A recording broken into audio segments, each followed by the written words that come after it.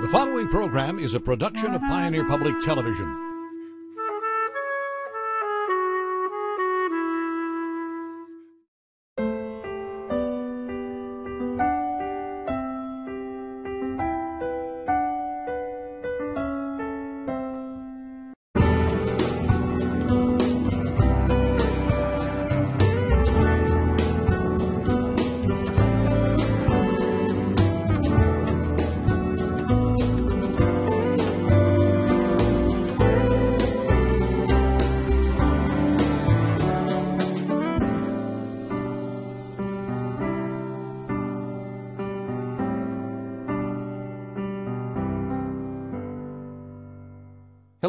Welcome to Compass, a new production from Pioneer Public Television.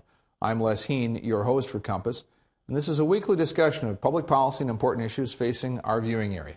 This week, we will look at how one area of farming is going through some big changes. It's all about the pollinator. That's a hot topic in the agricultural world because of the decline in the world's bee population and what that could mean for farming, fresh produce, and our food supply. Farming standards are being changing, and there's preservation habits hats that are changing, and there's bee farms that are changing across the U.S.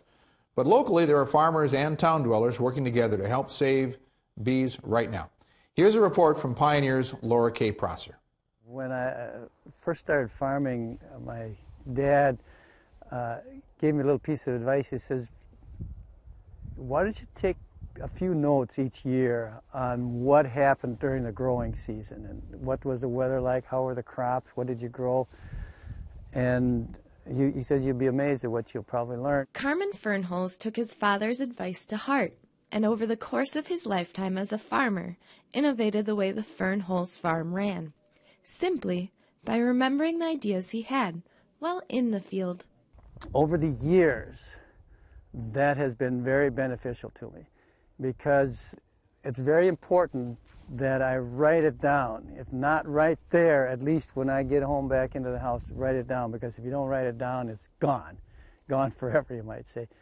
And so over the years, I've looked at those notes and looked at uh, what I was thinking at the time. And one of the major changes that uh, I used years ago even though I didn't have any forage eating livestock on my farm, was to introduce alfalfa into my rotation. And the reason I introduced it into the rotation because it, I found the previous summer that it was really helping me in weed management. And so I figured out how I could use alfalfa in my farming system as a, as a cash generating crop so that I wasn't going to, you know, lose out on the on the potential income. This was his first adventure into the world of pollinator preservation. Pollinator habitats, I guess, came into my life years ago when I was looking at diversity in a cropping system. Over the years, as a certified organic producer, I've always been sensitive to a diversity on the landscape how can we have more cropping system rather than less cropping system? How can we move away more from just, say, a corn and soybean rotation to a corn, soybean, small grain, uh, forage rotation? It was this sensitivity that led Fernholz to the NRCS National Resource Conservation Services Conservation Stewardship Program it's a program that pays farmers a certain amount of money each year for five years to maintain various practices on their farms.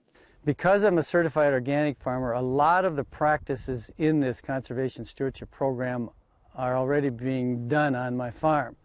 But in order to qualify, I needed to find some more unique practices. Well, one of those practices was to plant what they call pollinator strips.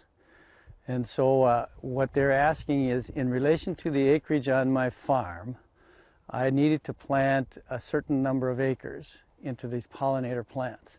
Fernholz has been in multiple different government programs, including fertility studies and erosion defenses. He calculated that for this next endeavor, he need approximately three acres to plant pollinator plants that meet the NRCS standards. We look at a diversified landscape And if we're thinking in terms of a diversified landscape, we're, we're thinking in terms of diversified crops. And so moving more in the direction of thinking in terms of pollinators was just more or less moving in terms of thinking so how does my diversified cropping really fit into the whole pollinator concept? I had these buffer strips that were about 30 feet wide, and uh, over the years there had been uh, some grasses and uh, forages growing in there.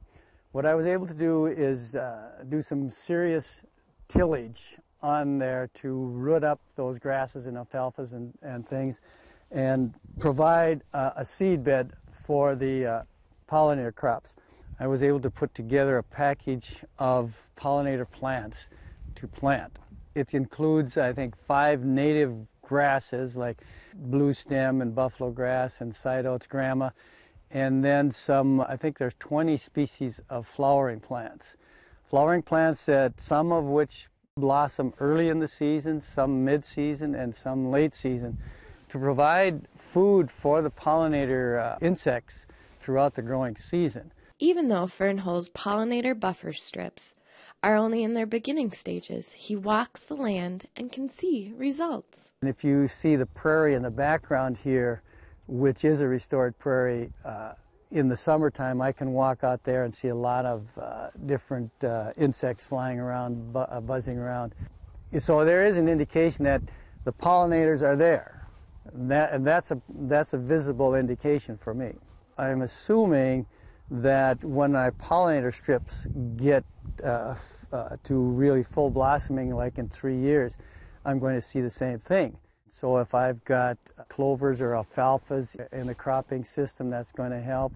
If I've got the pollinator strips, if I've got the buffer strips, they're all going to help. And I've got more than just a corn or soybean uh, menu for the pollinators. It's forced me over the years to be more creative in my cropping system, but then looking at how that cropping system can be a revenue generator is what drives me to be creative. Whether it's the cropping system, the insect world, or other wildlife, Fernholz thinks that in order for a farmer to really make the move to do anything like a pollinator strip or the buffer strips, they have to really examine their own understanding of their responsibilities as direct stewards of the land. And this is a long story, but the fact is, when we understand what it is that we have to do to take care of the landscape, we begin to realize that it is not only the crops that we grow on the land, but it is the environment that we provide for the other insects that are part of the whole ecosystem. And in the end, it becomes a, a personal decision for each farmer, I think, to make and to realize that if we are to pass on to the next generations what we have been stewards of during our lifetime, that we have to be able to pass it on in as good or better condition than when we received it. And to really appreciate that responsibility takes time and understanding and effort.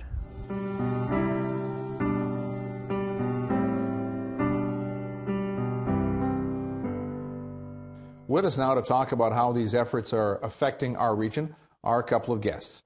Dave Frederickson is the Commissioner of the Minnesota Department of Agriculture, and also with us is Robin Trott. Robin is an extension educator in Douglas County with the Extension Office there in Alexandria. So, Dave, Robin, thanks for joining us.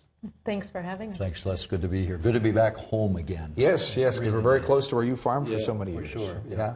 yeah. Well, this is, this is a huge topic, and I know in some of our earlier discussions, Dave, you've said that even though a lot of people have heard about this in the last year or so, particularly, I think it was about 2007, 2008 when it really started to, to, you know to, to be aware for a lot of people. Uh, colony collapse uh, became really a, A buzzword. a buzzword. That's Okay, right. good, good. That's We- right. we've got that out of the way now, I so like yeah. it. All right, buzzword is out. Very Yeah. well done. Well done. Uh, so the rest, uh, uh, from here on out, we're dead serious, right? Uh, what- uh, with you, I don't know, but keep going. right. Uh, no, uh, colony collapse was a huge issue, is a huge issue. Uh, it impacts uh, so many people. Uh, we are uh, number seven in honey production in the United States. It's an $18 billion industry.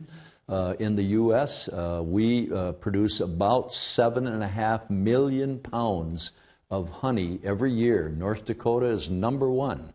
And so North Dakota, uh, North Dakota does about 33 and a half million pounds on an annual basis. South Dakota, a little less than that. Uh, so we have uh, Minnesota, uh, Montana, North and South Dakota, Wisconsin, and Michigan, the top six uh, honey producers. So it's all in the Midwest. So is this a big issue for uh, the Midwest states? Absolutely. Yeah, it's a huge issue. And I know while there a lot of attention gets paid to, to farmers in this, there's also homeowners that, of course, are enormously affected because they may be doing things that they're not aware have a dramatic impact on pollinators. And I know you've seen that in your work. Oh, absolutely. And, and we do talk about the honeybees a lot, and colony collapse disorder is certainly something we're very concerned about. But Minnesota has over 400 native pollinators.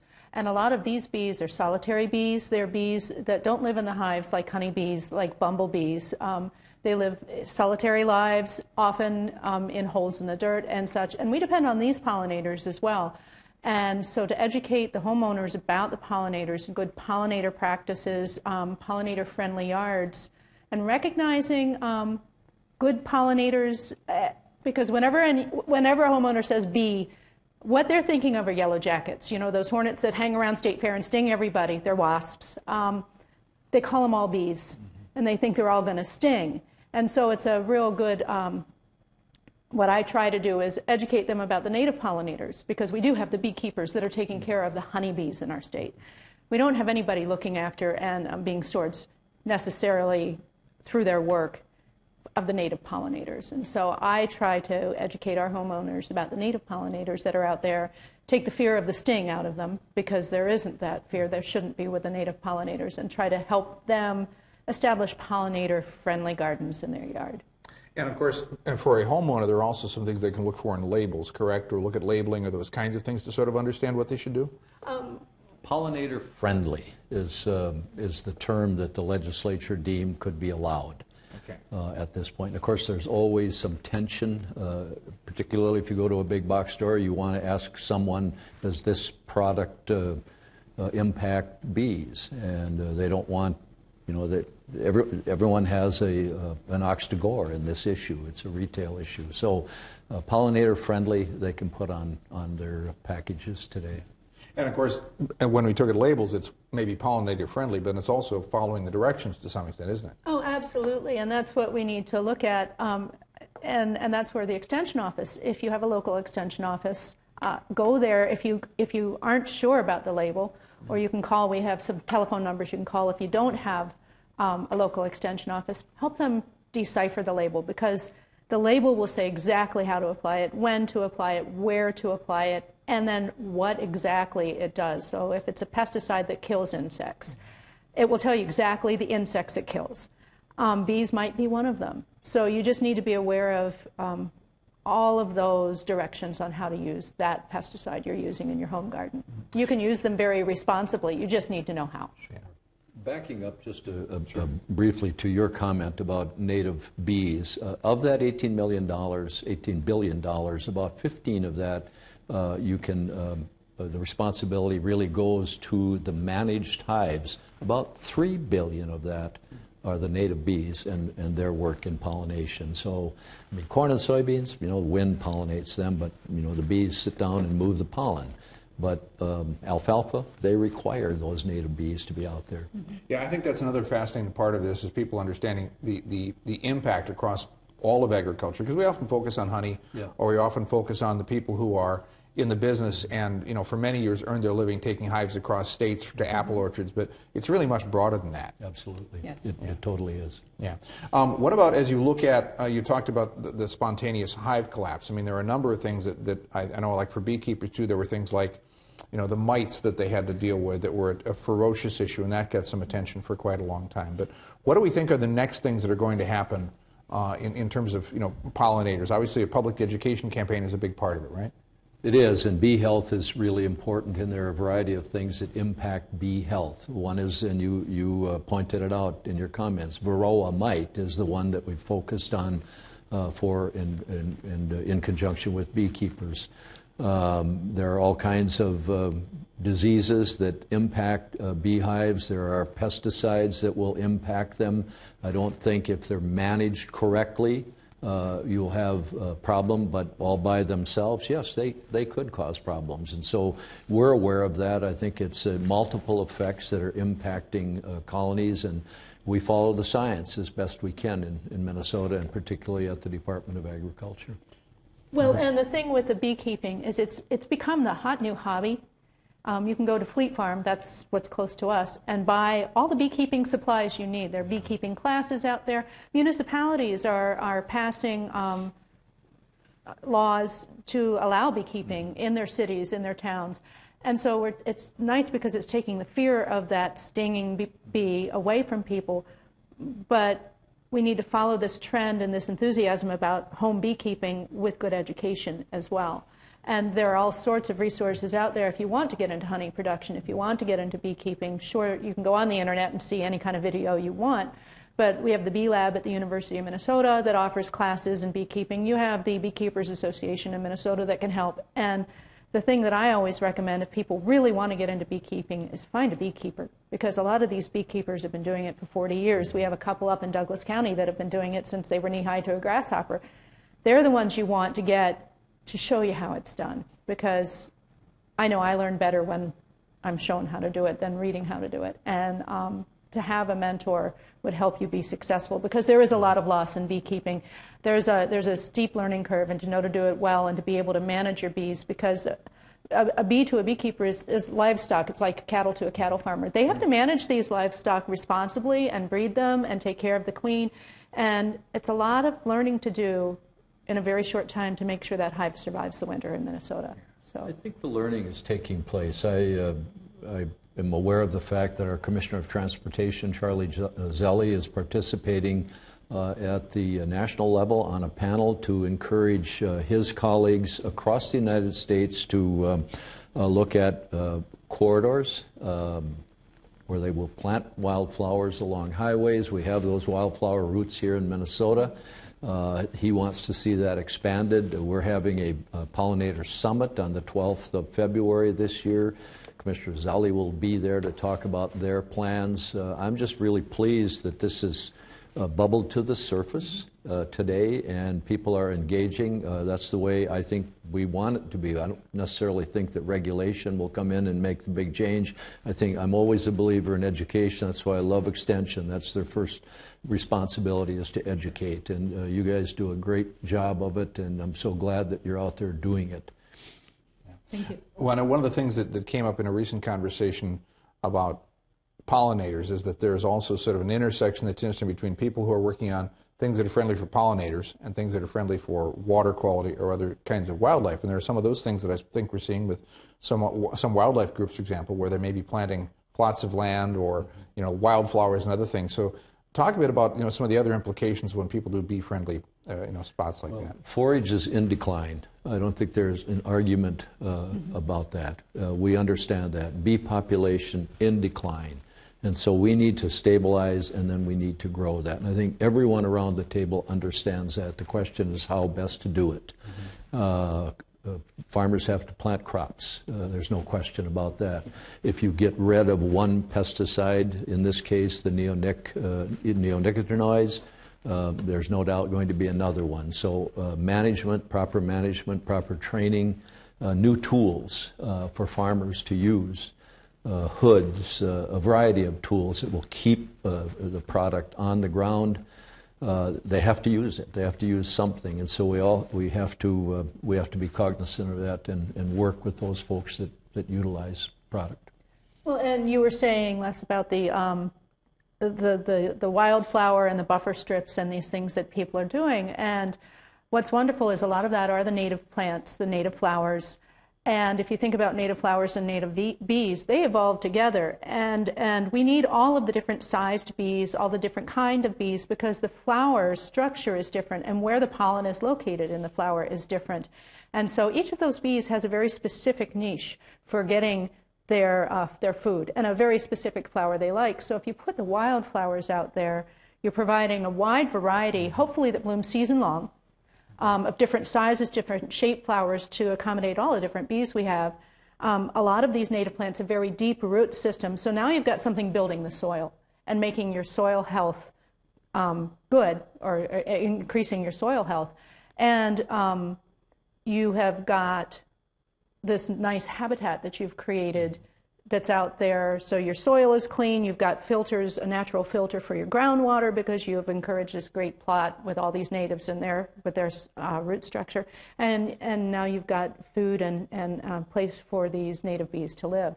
So it's kind of by doing one conservation measure, you can fulfill three different or four different things with this one thing and really build the health of your environment there, of your ecosystem. And you mentioned early on yeah. about the intersection between water quality, water mm-hmm. management, uh, uh, pollinators, habitat, and you, you have articulated how they come together, and that is exactly right. And as you see what, uh, what's going on around not only here in Minnesota, but around the country, we have a special responsibility. We're a headwater state.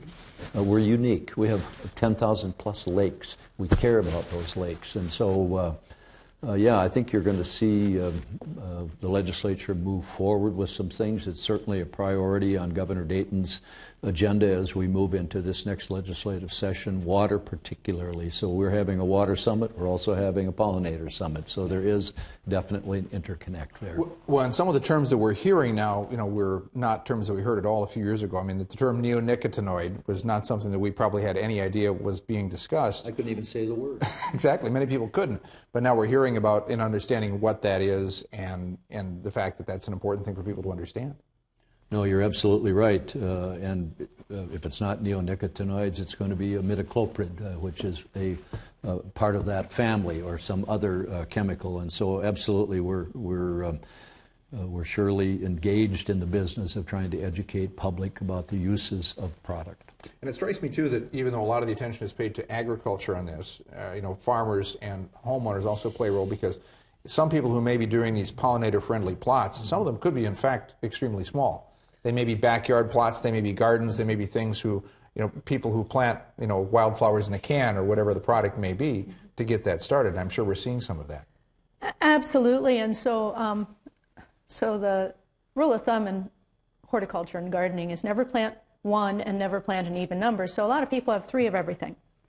And pollinators, when they go and collect pollen from a, a flower, they want to collect pollen from all the same flower.